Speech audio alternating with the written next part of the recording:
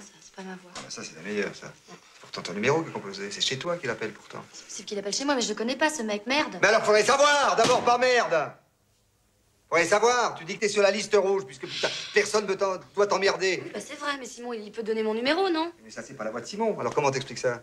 J'explique rien du tout, c'est pas moi, puis c'est tout. Alors, c'est qui? J'en sais rien, moi